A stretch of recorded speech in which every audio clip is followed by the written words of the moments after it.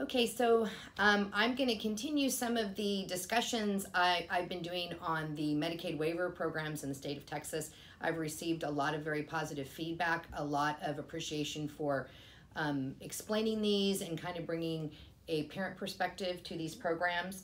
So again, if, if you're just tuning in now, I did a previous vid video where, where I talked about what waivers were and what waivers were available. Today I'm going to talk a little bit more about the process and like I said, if you do go to the website I told you, which is medicaidwaiver.org, um, you will find the information about Texas. It'll talk specifically about the waiting list that is in place for these waivers, which, like I said, is lengthy, but it depends on the waiver itself. So um, there's a couple uh, waivers that are a little more accessible. One of them is um, MDCP, which is the medically dependent children's waiver. Now, that waiver is only available if your child has a, um, a, a, serious medical condition. It actually phrases um, support family caring for children who are medically dependent and to ensure the transition of child into a nursing home. So um, it's not that we they really think your child's going to go into a nursing home, but if you have a child with a heart condition or some sort of serious condition that's requiring medical treatment, that waiver is um, accessible to you. And again, you would um, apply for that waiver through the um, Department of Aging and Disability Services. And um, they will evaluate your child's condition once you become eligible. So it's very if you're if you're unsure, you can always sign up. The worst is you're not eligible for the waiver. Sometimes uh, the way the wording is in these things it leaves for ambiguity, which I know is frustrating, but it doesn't hurt you to sign up and I know way back when I signed up for waivers a long, long time ago, um, children with autism were eligible for this waiver and they've changed some of the criteria and they've tightened it up a little bit. And unless your child with autism has like a life threatening asthmatic condition or heart condition, you're probably not eligible for that waiver. But there's also another one that is a little more accessible than some of the larger waivers, and that's called um, Texas Home Living. And um, I did not participate in that program, but I've talked to many families that are able to get access to that quicker.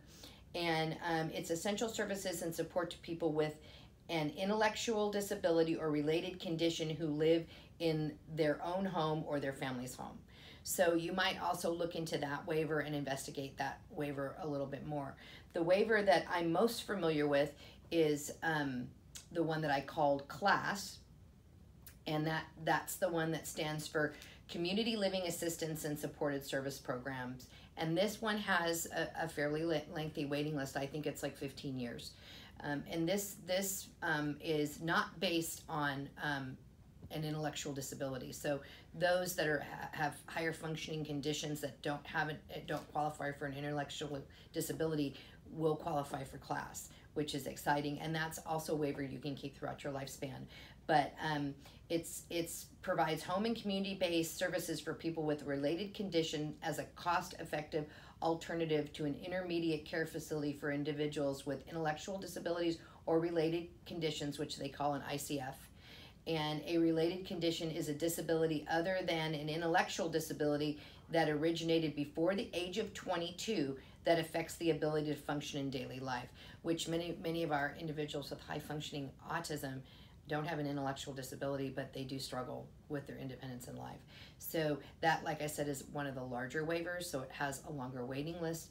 And, and just want to remind you, you can only be on one waiver at a time. So if you're on Texas Home Living and then you become eligible for class, um, you, you lose your Texas Home Living, which honestly, that's okay because class will cover everything you need. Um, for me as a parent, class has covered um, all the therapy services um, my clients or my kiddos get, um, and and not. I'm not talking OTPT speech. I'm talking things like horseback riding, music therapy, aquatic therapy, rec therapy, some of those other types of programs. It also pays for some respite and attendant care. So when that that's that's a waiver I'm real familiar with. The one I'm still on the waiting list for is Home and Community Service, which is HCS, and that is probably one of the largest waivers, and that's why it has a long waiting list. I think that's about 25 years, honestly. Um, for those of you that are already on it, you're moving up slowly, and this this one only opens up. Same with class when people leave. So when people leave, it opens up more space for it. So um, this provides an individualized service and support to people with intellectual disabilities. So you do have to have an ID for HCS. So if you don't have an intellectual disability, you're going to stay on class. This is not a waiver. Now, maybe in the next 10 years that'll change. So it doesn't, again, hurt to sign up because you're going to be waiting 20 plus years. So things may change, but it's um, support to people with intellectual disabilities who are living with their families in their own home or in a community setting, such as a small group home with no more than four people. Um, and the local authorities provide service coordination. So that's the, the definition of HCS. Again, intellectual disability. We look at this one for respite care, but also for housing. This helps to pay for those housing costs.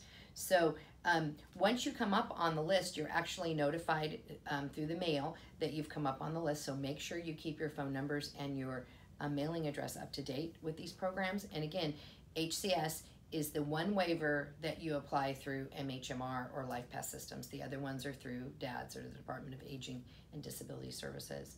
But when you become eligible for for these waivers, they um, will send you a letter and they will set up a meeting and you have to pick two different agencies that you work with. One is a direct service agency and one is a case management company. So they set up a meeting with those um, those agencies and you they explain about the waiver and then they um, set up a budget for you.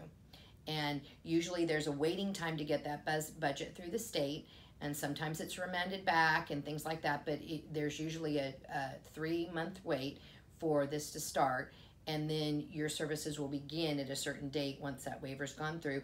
And the budget is um, re-looked at every year. So you meet with those same two service providers every year. However those service providers will also be in touch with you throughout the year checking in. They do quarterly uh, meetings where they check in and see how things are going. So um, they have a structure set up. Is it smooth all the time? No. It's like um, any um, business or any agency. Sometimes um, you have great service providers, and sometimes you have people that move through that system that, that just aren't as skilled as others. So it's real important that you're real educated and aware of what your rights are and what you're eligible with those waivers. So I hope that answers a few more questions. Feel free to um, send messages because I will reach out and do another video if there's further questions on these. Thanks.